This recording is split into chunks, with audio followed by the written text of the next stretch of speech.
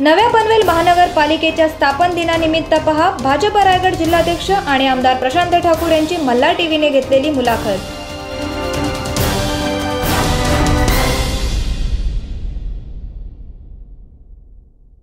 नमस्कार मल्हार टीव्हीमध्ये आपलं स्वागत. पनवेल नगर परिषदेचं रूपांतर पनवेल महानगरपालिकेत झालेलं आहे आणि एक ऑक्टोबरपासून ही महानगरपालिका अस्तित्वात येणार आहे. या सगळ्या महानगरपालिकेच्या कार्यक्रमामध्ये या संपूर्ण प्रकरणामध्ये सगळ्यात जास्त महत्त्वाची भूमिका बजावणारे पनवेलचे आमदार श्री प्रशांत ठाकूर यांच्याशी आपण दोन शब्द याबद्दल बोलणार आहोत. त्याबद्दल आपण थेट ठाकूर साहेबांशी बोलूया. साहेब नमस्कार. नमस्कार. आपलं मल्हार टी व्हीमध्ये स्वागत.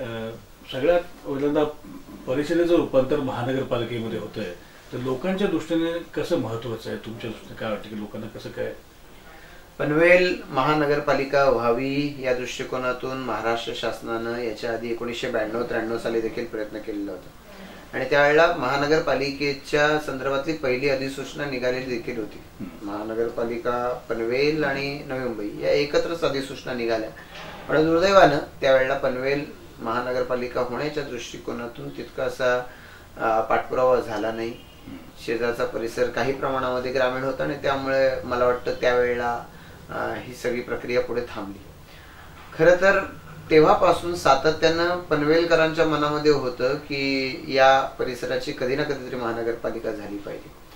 लोकांच्या मनामध्ये जरी असलं तरी वेगवेगळ्या पद्धतीचे संदर्भ सामाजिक संदर्भ असतात किंवा काही व्यावसायिक संदर्भ असतात या सगळ्या संदर्भाच्या मुळे ही महानगरपालिका व्हावी होऊ नये यासाठी प्रयत्न करणाऱ्यांच्या मध्ये मध्ये कुठं ना कुठं तरी एक दरी होती. अलीकडच्या काळामध्ये मी दोन हजार नऊ सालापासून विधानसभेचा सदस्य आहे. आणि अलीकडच्या काळामध्ये माझ्या लक्षात आलं की पनवेल नगरपालिकेचे काही प्रश्न आहेत. सिडको विभाग जो आहे की सिडकोनं ज्या वसाहती निर्माण केल्या त्या वसाहतींचे काही प्रश्न आहेत. आणि त्याचबरोबर पनवेल तालुक्यातल्या ग्रामीण भाग ज्याचं आता या सगळ्या परिसरामध्ये येणाऱ्या विकासाच्या मुळे आणि या सगळ्या परिसरामध्ये मिळणाऱ्या रोजगाराच्या संधीमुळे या भागातला या पनवेल शहराच्या जवळपासचा जो ग्रामीण भाग आहे याचंही स्वरूप बदलत चाललेलं आहे. आणि या सगळ्याची परिणती जर कशात होत असली तर ती ही की लोकसंख्येची वाढ तर प्रचंड होते. लोकसंख्येची वाढ प्रचंड होत असताना मुंबईला जवळ मुंबईमध्ये सगळ्या सुविधा मिळू शकत नाही. म्हणून पनवेल सगळ्याच्या परिसरामध्ये लोक राहायला आले. आता मुंबईला सेवा देणारी अनेक लोक इथे राहतात. याचा अर्थ जसा मुंबईचा विकास होतो तसाच या परिसराचा देखील विकास व्हायला पाहिजे होता. पण दुर्दैवानं या परिसराच्या विकासावरती नियंत्रणबद्ध नियोजनबद्ध अशा पद्धतीचं काम झालं नाही. आणि त्याच्यामुळे असं झालं की सिडकोच्या वसाहती झाल्या पण त्याच्यामध्ये सेवा सुविधा मिळण्याच्या दृष्टिकोनातून एक स्टॅग्नेशन आलं. याच्या पलीकडे जास्त सोयीसुविधा मिळवायच्या असतील तर डोकं आपटल्याशिवाय खूप मेहनत केल्याशिवाय काही मिळू शकत नाही. सिडको एरिया पनवेल परिसरामध्ये जागेचं रेस्ट्रिक्शन कारण पनवेल नगरपालिकेचं सगळं क्षेत्र सिडकोनं घेरलेलं. त्यामुळे या परिसरामध्ये जर काही सोयी सुविधा द्यायच्यात उदाहरणार्थ पनवेल नगरपालिकेला झोपडपट्टीचे पुनर्वसन करायचं तर त्याच्यासाठी जागा नाही. अन्य वेगवेगळ्या पद्धतीची सार्वजनिक आरक्षण सार्वजनिक कामं करायची त्याच्यासाठी जागा नाही. आणि त्याचबरोबर मी ग्रामीण भागाचं म्हटलं की ग्रामीण भागामध्ये देखील शहरी भागात परवडत नाही म्हणून ग्रामीण भागात राहायला आले लोक. त्यांना सार्वजनिक सोयी सुविधा मिळत नाही. अशा पद्धतीनं सगळ्याच परिसरात समस्या उभ्या राहिल्या. या सगळ्या समस्यांवरचं उत्तर म्हणजे महानगरपालिका या महानगरपालिकेच्या माध्यमातून सोयी सुविधा देणं हे त्याच्यावरचं उत्तर होतं. आणि म्हणून या दृष्टिकोनातून मी बऱ्याच काळापासून मागणी केली. मी स्वतः नगराध्यक्ष राहिले. मी त्यानंतर आमदार झालो. आणि या सगळ्या परिस्थितीमध्ये महानगरपालिकेची गरज किती आहे लक्षात येत गेलं. आणि म्हणून मी पाठपुरावा केला. आनंद आहे. की राज्याचे मुख्यमंत्री म्हणून देवेंद्र फडणवीस साहेबांनी सूत्र हातात घेतलीत की जे नागपूर महानगरपालिकेचे सर्वात तरुण महापौर राहिलेले आहेत. अतिशय हुशार आणि अतिशय त्याचबरोबर कार्यक्षम अशा पद्धतीचे म्हणून त्यांचा लौकिक आहे. आणि त्यामुळे ही गरज व्यक्त केल्यावर त्यांनी ती ओळखली. आधी टोलचा निर्णय आता महापालिकेचा निर्णय. आणि जे लोकांची नस ओळखणं असं ज्याला म्हणतात ती लोकांची नस मला अभिमानानं सांगावं असं वाटतं की भारतीय जनता पार्टीनं त्यांना संधी दिली आणि त्या संधीचं सोनं करण्याचा ते प्रत्येक दिवसाला प्रत्येक क्षणाला प्रयत्न करतायत आणि त्यापैकीचा निर्णय. पनवेल नगर परिषद जी आहे ही अत्यंत जुनी नगर परिषद आहे. म्हणजे अठराव्या शतकात स्थापन झालेली नगर परिषद आहे. म्हणजे सिंधुदुर्ग रत्नागिरी रायगड या सगळ्या भागात ही पहिली नगर परिषद आहे जिला महानगरपालिकेचा मान मिळतो. आणि तुम्ही नगराध्यक्षपद यापूर्वी भूषवलेलं आहे.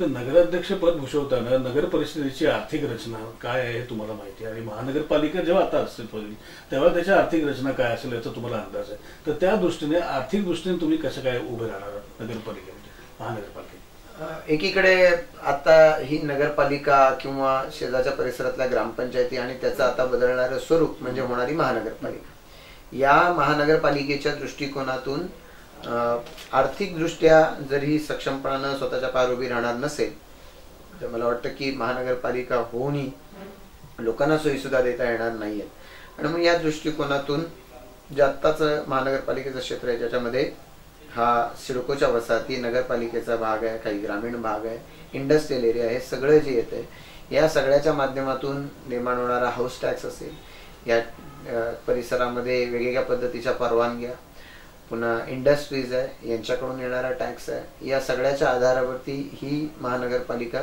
चांगल्या पद्धतीनं ताकदीनं उभी राहू शकते. येणाऱ्या भविष्य काळामध्ये इथल्या परिसरामध्ये विकास व्हावा या दृष्टिकोनातून अनेक एजन्सीज काम करत आहेत मग या सगळ्या एजन्सीच्या कडून अं, निश्चितपणाने या महानगराला देखील मदत होईल. म्हणजे याच्यामध्ये अं, केंद्र सरकार असू द्या एम एम आर डी असू द्या सिडको असू द्या या सगळ्या एजन्सीज जर इथे काम करणार आहेत तर त्यांनी या शहराच्या विकासामध्ये हातभार लावावा. मुख्यमंत्र्यांनी पुढाकार घेतलेला आहे. महाराष्ट्रामधली मोठी मोठी शहरं आहेत. ही सगळी मोठी शहरांचे स्मार्ट सिटीमध्ये परिवर्तन व्हावं जे देशाचे पंतप्रधान नरेंद्र मोदीजींचं स्वप्न आहे. की त्या दृष्टिकोनातून चढाओढ लागली पाहिजे. पूर्वीचा काळ असा होता की आम्ही गरीब किती आहोत हे दाखवण्याच्यासाठीची स्पर्धा होती. आता पंतप्रधानांनी आवाहन केलेलं आहे की गरीब किती आहोत यापेक्षा जास्त आम्ही कसे सक्षम आहोत हे तुम्ही सिद्ध करा आणि मग तुम्हाला आम्ही मदत करू. अशा पद्धती भूमिका घेतली आहे.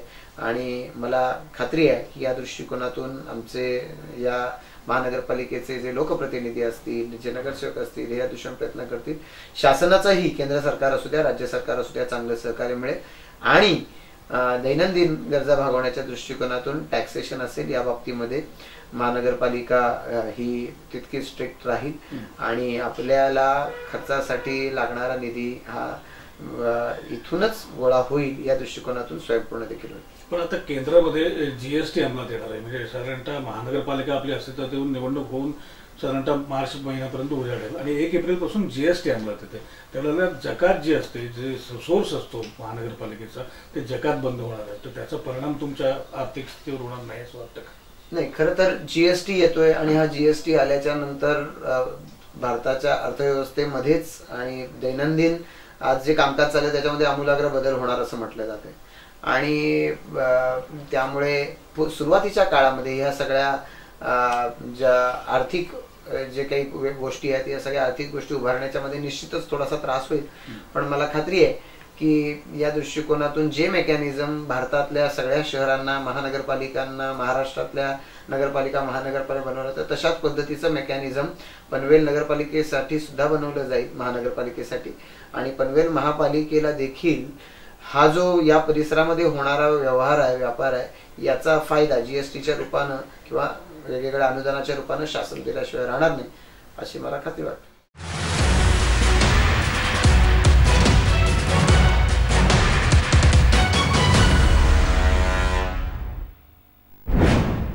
नागरिकांवरचा जो कर्ज असतो प्रॉपर्टी टॅक्स वगैरे तर त्याच्यावर काही भार पडेल असं वाटतं का? नागरिकांना पैसे खिशातून घालावे लागतील का महानगरपालिकेसाठी?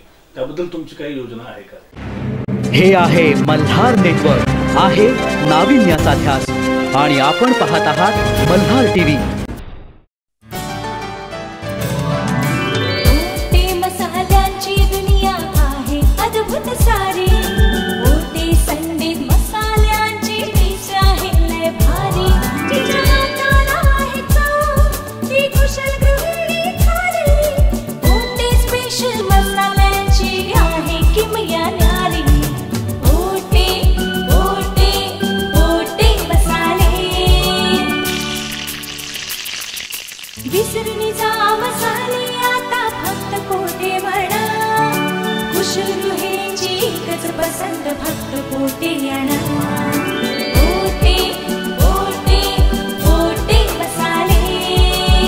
स्वाद आणि जेवणातच नव्हे तर जीवनातही.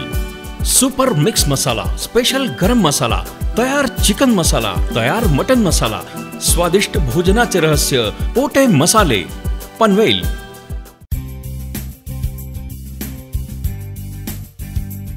पनवेल मधील एक परिपूर्ण रेडीमेड गारमेंट शोरूम रेडियन्स तरुणांच्या मनपसंत आणि लेटेस्ट फॅशनचे रेडीमेड कपडे मिळण्याचे एकमेव ठिकाण Radiance latest jeans fancy jeans capri three fold short kurta jackets blazers T shirts आणि शेरवानी लग्न समारंभासाठी आणि सर्वांसाठी खास ड्रेस नवरदेवासाठी खास पूर्ण एथनिक वेअर्स फेटा टाय मोजरी यासहित पूर्ण three piece suit Jodhpuri sherwani safari तसेच सर्व प्रकारचे आकर्षक कॅज्युअल आणि फॉर्मल्स टी शर्ट्स जीन्स आणि ट्राउझर्स आपल्या मनपसंत रेडीमेड कपड्यांसाठी रेडियन्स शोरूमला आजच भेट द्या.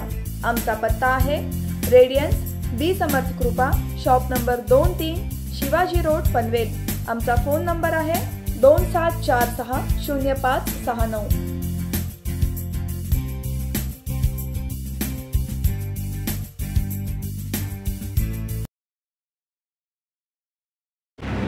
हे आहे मल्हार नेटवर्क. आहे नाविन्याचा ध्यास. आणि आपण पाहत आहात मल्हार टीव्ही.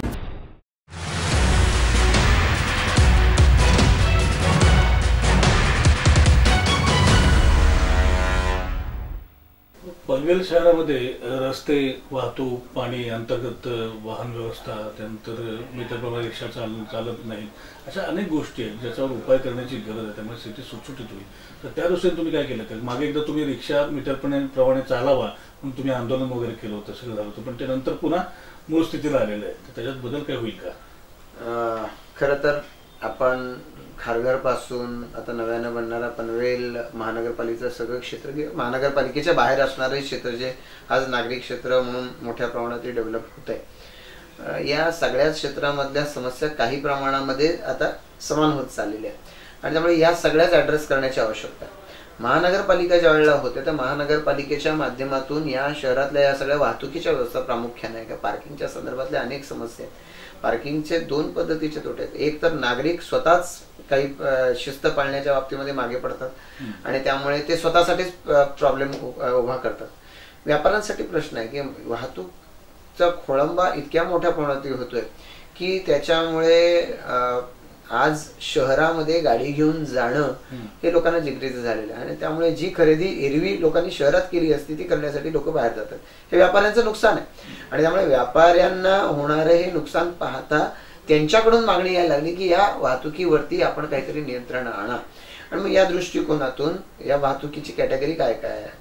अवजड वाहतूक असेल काही मालाची वाहतूक आहे शहरामधल्या फोर व्हीलर्स आहेत टू व्हीलर्स आहेत याच्या दृष्टीने योग्य त्या पार्किंगच्या जागा असणं या पार्किंगच्या दृष्टिकोनातून योग्य पद्धतीनं ठराव करणं या सगळ्याला काही कालावधी जरूर लागू शकेल.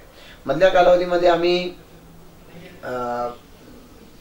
वाहतूक विभागाचे जे उपायुक्त आहेत यांच्याकडे बैठका घेतल्या. आणि मला वाटतं त्याला बराच कालावधी रोटला पण बरेच कारण असू शकतील की सिडको नगरपालिका वाहतूक विभाग आणि पोलीस विभाग. ह्याच्यामध्ये जे कोऑर्डिनेशन होण्याची आवश्यकता आहे कोऑर्डिनेशनच झालं नाही. आणि त्याच्यामुळे प्रश्न बऱ्याच वेळा चर्चेला येऊन त्याच्यावरती अंतिम तोडगा हा निघाला नाही तोडग्याचा अंमलबजावणी. ही त्या ठिकाणी काही झालेली नाही. आणि त्यामुळे अशा पद्धतीनं ही जर अशीच स्थिती राहिली तर या स्थितीमध्ये निश्चित पद्धतीनं आम्हाला बदल करावा लागेल हे वाटत राहिलं. आणि या यासाठी आम्ही बराच पाठपुरावा या आधी देखील केला. आणि मला वाटतं की या महानगरपालिका झाल्यानंतर या विषयावरती या महानगरपालिकेला ऍड्रेस करावं लागेल. शहरातली वाहतूक आहे. काही अरुंद रस्ते असतील. वाहतुकीच्या बाबतीत एकेरी वाहतुकीचे नियम आहेत. पार्किंगच्या संदर्भातले नियम असतील. वेगवेगळ्या पद्धतीच्या टेक्नॉलॉजीचा वापर काही संसाधनांचा वापर हे सगळं करून याच्यावरती नियंत्रण आणणं जेणेकरून शहरातली वाहतूक सुरळीत होईल. आणि वाहतूक सुरळीत झाली तर त्याचा फायदा लोकांना होऊ शकेल. जो शहराच्या लगतचा ग्रामीण भाग आहे कदाचित आज तो महानगरपालिकेला आला असता तिथेही या सगळ्या पद्धतीनं काळजी घेण्याची आवश्यकता आहे. आणि या दृष्टिकोनातून जिथे आवश्यकता लागेल त्या त्या ठिकाणी त्या त्या यंत्रणांची मदत घेऊन जे या महानगरपालिकेच्या क्षेत्रासाठी ठरेल तेच शेजारच्या क्षेत्रासाठी देण्याचा आम्ही प्रयत्न करू. आता नगर परिषदेमध्ये शिक्षण संस्था आहेत पण पालिकेच्या संदर्भामध्ये आपण जेव्हा विचार करतो लोकांच्या आरोग्याचा तेव्हा जिल्हा रुग्णालय येते तसं महानगरपालिकेचं म्हणजे पनवेल महानगरपालिकेचं एक स्वतंत्र मोठं रुग्णालय करायचा विचार आहे का? निश्चित केलं पाहिजे.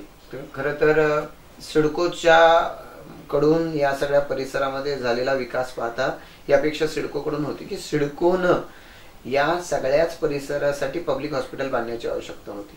मला असं वाटतं की जवळपास दोन हजार दोन हजार आठ सालाच्या आसपास मी नगराध्यक्ष असताना त्यावेळेपासून या सगळ्या परिसरामध्ये हॉस्पिटल पाहिजे. आणि हे हॉस्पिटल पब्लिक हॉस्पिटल पाहिजे अशा पद्धती मागणी करतो. आजही या दृष्टिकोनातून सिडकोनं केवळ नियोजन केलंय अंमलबजावणी केलेली नाही. दोन हजार आठ सालापासून मी सिडकोकडे मागणी करतो आणि अशाच अनेक गोष्टींच्या ज्यांची सिडकोकडे मागणी केली आणि सिडकोनं त्या त्या वेळेला पाठपुरावा केला नाही म्हणून खरं तर महापालिका मागण्याची गरज ही भासायला लागली त्यामुळे हॉस्पिटल ही त्याच्यातली प्रामुख्यानं गरज आहे. एक स्वस्त दरामध्ये लोकांना ट्रीटमेंट करणं किंवा विना मोबदला कॉस्ट ट्रीटमेंट करणारा अशा पद्धतीचे हॉस्पिटलची नितांत आवश्यकता या सगळ्या पनवेल तालुक्याच्या या सगळ्या नागरिकरण झालेल्या परिसराला आहे. उपजिल्हा रुग्णालय बनते पण ते शंभर बेडचं आहे आणि त्याच्याबरोबरनं वेगवेगळ्या पद्धतीचे अन्य ट्रॉमा केअर सेंटर हे सगळ्या गोष्टी येतील. पण तरीही या सगळ्या परिसरामध्ये सातत्यानं पसरणारे साथीचे रोग असतील किंवा अन्य सगळे असतील हे सगळं बघता मला असं वाटतं की ही काळजी घेण्याची आवश्यकता आहे. की कशा पद्धतीनं आम्ही या परिसरातल्या लोकांचं स्वास्थ्य चांगलं राखू शकू? त्यांना चांग कमीत कमी दरामध्ये खर्चामध्ये आम्ही चांगली स्वास्थ्य सेवा देऊ शकू? यासाठी हॉस्पिटल हा एकमेव पर्याय आणि त्यासाठी या महापालिकेने प्रयत्न केले पाहिजे ती माझी धारणा आहे. दुसरं मगाच्या एका प्रश्नाच्या आधारे मी एक विचारू इच्छितो की हे सगळं जकात वगैरे किंवा पैसा उभारताना नागरिकांवरचा जो कर्ज असतो प्रॉपर्टी टॅक्स वगैरे तर त्याच्यावर काही भार पडेल असं वाटतं का? नागरिकांना पैसे खिशातून घालावे लागतील का महानगरपालिकेसाठी? त्याबद्दल तुमची काही योजना आहे का? मला वाटतं की ह्याच्यामध्ये टॅक्समध्ये वाढ करून आपण काही कमवू शकू असं नाहीये. टॅक्स आहे जो जो सगळीकडेच आकारला जातो तो टॅक्स आकारला गेला पाहिजे. त्याची योग्य पद्धतीने अंमलबजावणी झाली पाहिजे. कोणीही त्या टॅक्सच्या जे चौकट आहे चौकटीतून सुटून जाता कामा नये. म्हणजे आज सर्वसामान्य माणसाने टॅक्स द्यायचा आणि अन्य कोणीतरी जे गडगंज संपत्तीधारक आहेत त्यांनी मात्र टॅक्स न देता या सगळ्या सुखसोयी उपभोगायच्या. हे काही चांगलं चित्र नाही आहे आणि म्हणून मला असं वाटतं की या दृष्टिकोनातून टॅक्सची वाढ न करता देखील उत्पन्नाचे नवे नवे मार्ग चोखाळून काही प्रमाणामध्ये शासनाच्याकडून सहकार्य घेऊन शासनाच्या यंत्रणा जसं एम एम आर डीचं मागितलं हे सगळं करून मला वाटतं हे उभं करता येऊ शकतं.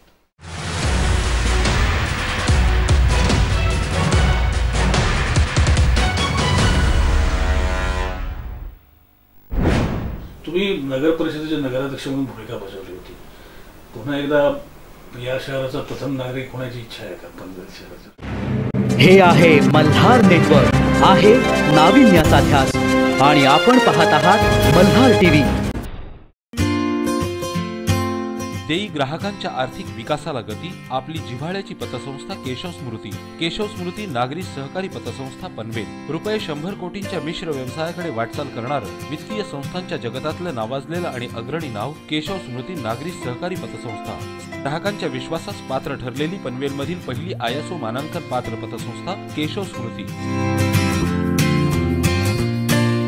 आधुनिक आणि प्रगत संगणकीय तंत्रज्ञानाचा वापर कुशल व प्रशिक्षित कर्मचारी वर्ग समाजातील छोट्या व्यावसायिकांना दैनंदिन बचतीची सवय लावणारे आणि दैनंदिन कर्ज वसुली करता कार्यरत असलेले स्वल्प बचत प्रतिनिधी तरलता भांडवल पर्याप्तता स्वनिधी ठेवी कर्ज आणि व्याज यांचा सुयोग्य समतोल राखणारी पतसंस्था केशव स्मृती नागरी सहकारी पतसंस्था. अंदाजे रुपये पाच कोटी बाजार मूल्य असलेल्या संस्थेच्या स्वमालकीच्या सर्व वास्तू आमच्या सन्माननीय ग्राहकांसाठी कार्यरत आहेत कांचन मुद्रा सुवर्ण खरेदी कर्ज योजना सोने तारण कर्ज वैयक्तिक कर्ज एनएससी तथा केव्हीपी इत्यादी प्रमाणपत्र तारण कर्ज योजना व्यवसाय कर्ज योजना गृह कर्ज आणि वाहन तारण कर्ज योजना. संस्थेच्या आर्थिक वाटचालीत मोलाचा वाटा आहे तो आमचे ग्राहक भागधारक आणि हितचिंतकांचा. संस्थेच्या प्रगतीचा आलेख सदैव चढता ठेवण्यासाठी कार्यरत आहेत. संस्थेचे अध्यक्ष माननीय अमित ओझे आणि सर्व संचालक मंडळ. केशव स्मृती नागरी सहकारी पतसंस्थेच्या विविध योजनांबाबत आपल्या नजीकच्या कोणत्याही शाखेशी संपर्क साधा.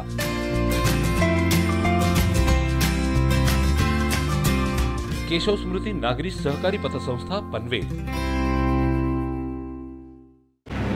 हे आहे मल्हार नेटवर्क. आहे नाविन्याचा ध्यास आणि आपण पाहत आहात मल्हार टीव्ही.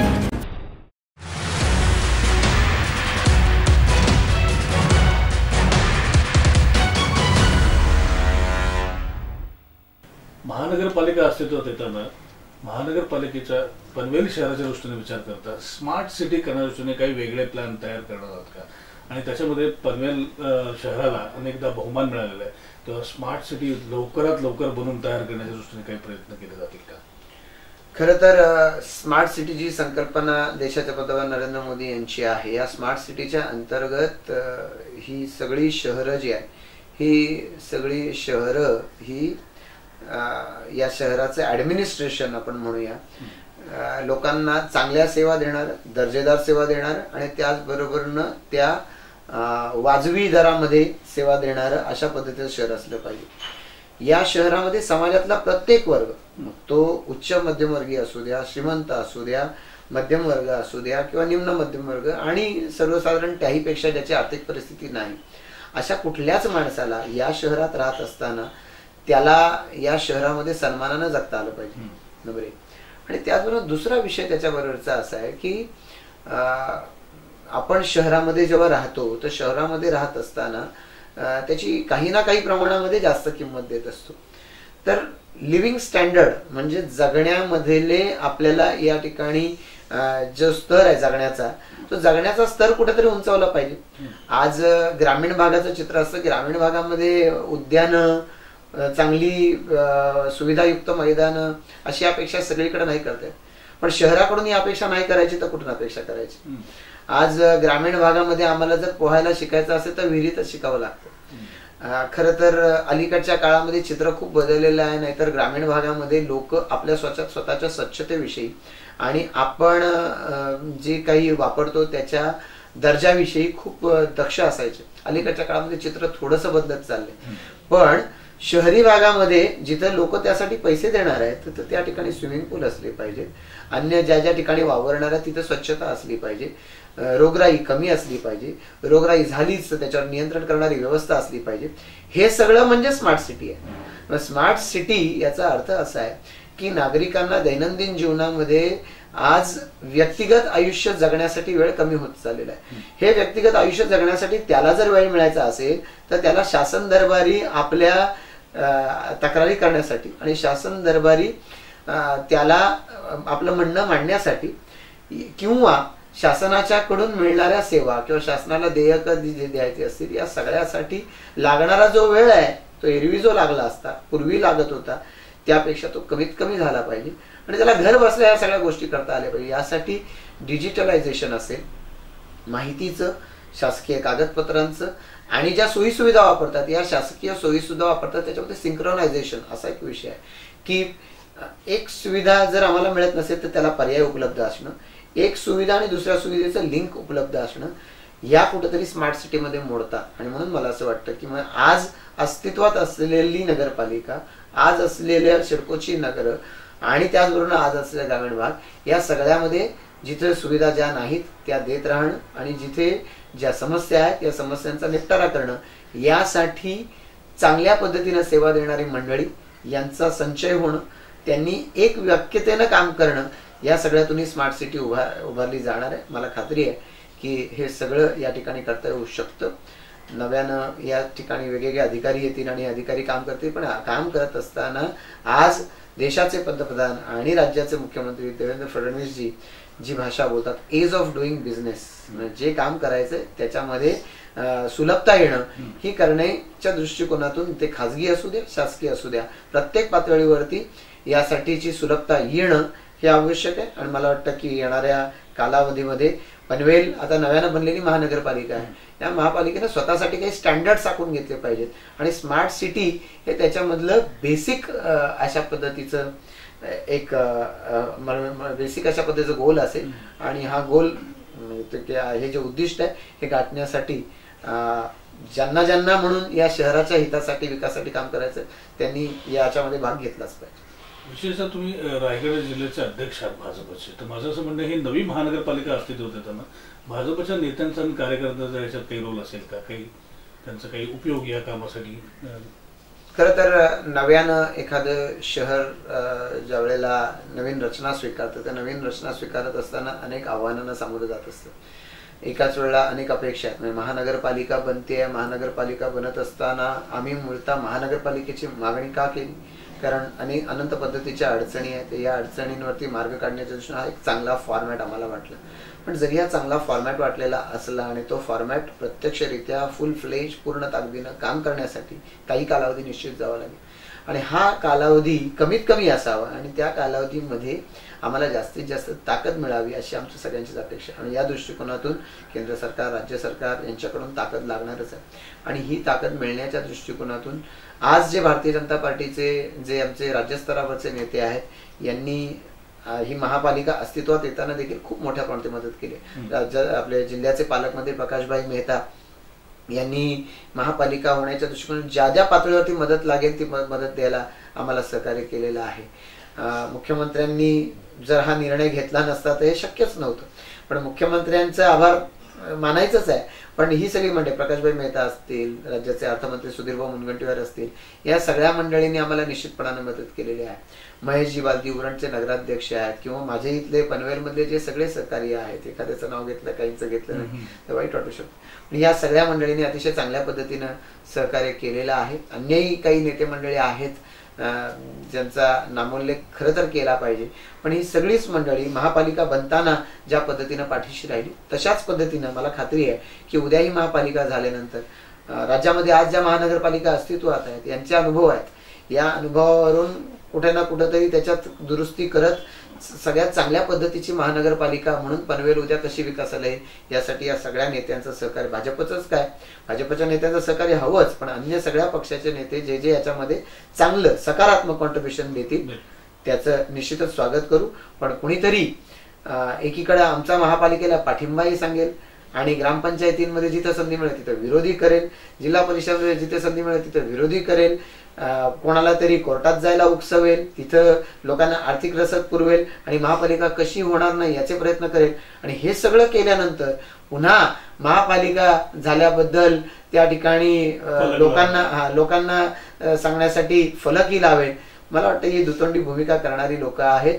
यांनी किमान याच्यापुढे महापालिका झाली आहे आजही काही मंडळी कोर्टात जाण्याची तयारी करतात असं कळतंय. त्यांनी किमान ही महापालिका होण्याच्या सकारात्मक पावलं उचलली तरी सुद्धा पनवेलकर त्यांचा आभार मानतील असं मला वाटतं. तुम्ही नगर परिषदेचे नगराध्यक्ष म्हणून भूमिका बजावली होती. पुन्हा एकदा या शहराचा प्रथम नागरिक होण्याची इच्छा आहे का? पनवेल शहराच्या महापौर पदाबद्दल म्हणतोय. महापौर पदावरती काम करणं हे कदाचित मला वाटतं की आज या पातळीवरती शहर पातळीवरती काम करणाऱ्या अनेक लोकांचं स्वप्न असू शकतं अनेक लोकांना तशी इच्छा असू शकते. मी व्यक्तिशः सांगू शकेन की मी आज या पनवेल विधानसभा मतदारसंघाचं आमदारपद भूषवतो आणि त्यामुळे एक संधी भारतीय जनता पार्टीनं मला दिलेली आहे. दोन हजार चौदा साली ज्या वेळेला मी दुसऱ्या पक्षातून भाजपमध्ये आलो त्यावेळेला काही तुम्ही तिकीट द्याल तरच येतो असं सांगितलं नव्हतं पण भाजपनं ती संधी दिली. आणि भाजपनं संधी दिल्याच्या नंतर निश्चितच या परिसरातल्या कार्यकर्त्यांनी जीवतोड मेहनत घेऊन काम केलेलं आहे. भारतीय जनता पार्टी एक अशी पार्टी आहे की जी समजते की आम्ही राजकारणासाठी राजकारणात काहीतरी मिळवण्यासाठी इथं आलेलो नाही. इथं आमच्यासाठी राष्ट्र सर्वोपरी आहे. राष्ट्र पहिलं मग संघटन आणि सगळ्यात शेवटी जर काय असेल तर तो मी आहे. आणि म्हणून व्यक्ती म्हणून तुम्ही सगळ्यात शेवटच्याच ठिकाणावरती आहात. संघटन म्हणून तुम्ही काम करण्याची आवश्यकता आहे. राष्ट्रीय स्वयंसेवक संघाच्या मुशीतून घडणारे अनेक कार्यकर्ते की ज्यांना काही मिळालं नाही पण त्यांनी भाजप वाढवण्यासाठी खूप मोठ्या प्रमाणात मेहनत घेतलेली आहे. आणि त्यामुळे एक आता विधानसभेचं होतो म्हणून संधी पक्षानं दिली. त्यामुळे सगळ्या संधी मला मिळाल्या पाहिजे ती माझी भूमिका नाही. आणि ही भूमिका ही संधी कोणाला द्यावी यापेक्षा जास्त ही संधी नाही ही जबाबदारी आहे. आणि म्हणून ही जबाबदारी पेलण्याच्या दृष्टिकोनातून कोण कोण कार्यकर्ते तयार आहेत त्याचा पक्ष विचार करेल. पक्षाचे प्रमुख कार्यकर्ते जे या जिल्ह्यात राहतात जे अन्य ठिकाणी नेतृत्व करतात ज्यांच्यावर संघटनेची जबाबदारी हे सगळे मिळून या संदर्भातला निर्णय घेतील. आणि याच्यामध्ये उद्याच्या या महापालिकेला चांगली सेवा देण्यासाठी कोण समर्थपणानं काम करू शकेल आणि कोण सक्षमपणानं वेळ देऊन मेहनत घेऊन हे सगळं करू शकतो. अशा व्यक्तींच्या मधून ही निवड होईल हे निश्चित. पनवेलच्या नागरिकांना या महानगरपालिकेच्या निमित्तानं काही संदेश आपण देऊ इच्छिता पनवेलच्या सर्व आमच्या पनवेल तालुक्यातील विशेष तत्वानं पनवेल महानगरपालिकेमध्ये ज्या विभागाचा समावेश झालेल्या आहे, सगळ्या नागरिकांना संदेश देण्यापेक्षा मी त्यांना विनंती करणार आहे की गेला बराच काळ आपली ही जी मागणी आपण प्रत्यक्षरित्या अप्रत्यक्षरित्या आपापल्या शहरातल्या भारतीय जनता पार्टीच्या कार्यकर्त्यांच्या माध्यमातून वर्तमानपत्राच्या माध्यमातून ही सरकारकडे पोहोचवण्याचा प्रयत्न केला त्याच्यामध्ये माझ्या माध्यमातून कधी प्रयत्न केला कधी थेटपणाने केलेला आहे. ही मागणी आता जर पूर्णत्वाला येते तर पूर्णत्वाला येत असताना त्याच्यामध्ये नव्यानं ज्या वेळेला एखादी गोष्ट निर्माण होते तर त्याच्यामध्ये काही प्रमाणामध्ये क्लिष्टता असते. ही क्लिष्टता जाऊन लवकरात लवकर गोष्टी सोप्या व्हाव्यात आणि लोकांना चांगल्या सोयी सुद्धा मिळाव्यात ही माझी आपल्या सगळ्यांचीच इच्छा आहे. त्या दृष्टिकोनातून भारतीय जनता पार्टीचे कार्यकर्ते यामध्ये कुठे ना कुठेतरी समन्वयाची भूमिका आणि त्याचबरोबरीनं जबाबदारीनं जे जे जनतेचे विषय आहेत या महापालिकेच्या नव्यानं कारण सहा महिन्यासाठी किमान फक्त अधिकारीच काम करणार आहेत. या अधिकाऱ्यांपर्यंत पोहोचवण्याच्यासाठी काम करणार आहेत. आणि मला असं वाटतं की जी गोष्ट आपल्याला कुठेतरी कुठं ना कुठेतरी मनाला खलती आहे. कुठं ना कुठेतरी मनामध्ये ही ही आमची समस्या दीर्घकाळ प्रलंबित आहे.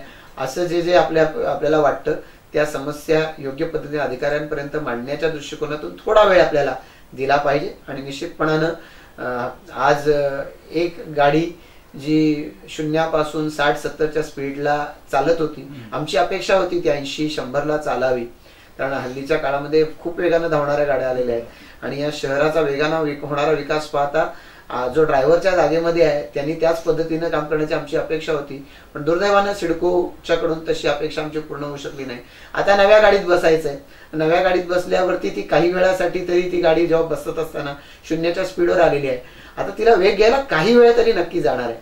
पण तिला सिडकोनं जो वेळ लावला तितका वेळ लागणार नाही याची खात्री मला प्रशासनाच्या वतीनं द्यायचे प्रशासनाला त्या दृष्टिकोनातून धावायला लावण्यासाठी मी आमचे सगळे सहकारी मान्य मुख्यमंत्री किंवा अन्य सर्व सहकाऱ्यांच्या मदतीनं प्रयत्न करूच. पण त्यावेळेला आपण एक थोडा काळ सुशिकपणा दाखवा आणि पुढच्या काळामध्ये निश्चितपणानं त्याचे रिटर्न्स आपल्याला मिळतील ही खात्री मला व्यक्त करायची आणि ते सहकार्य या सर्व जनतेनं करावं अशी मला आपल्या मार्फत त्यांना विनंती करायची. तुमच्या अथक प्रयत्नानंतर ही महानगरपालिका स्थापन झाली. त्याबद्दल तुमचं अभिनंदन आणि पुढच्या काळासाठी तुम्हाला मनापासून शुभेच्छा. मल्हार टीव्ही तर्फे धन्यवाद. थँक्यू नव्या पनवेल महानगरपालिकेच्या स्थापन दिनानिमित्त पहा भाजप रायगड जिल्हाध्यक्ष आणि आमदार प्रशांत ठाकूर यांची मल्हार टीव्हीने घेतलेली मुलाखत.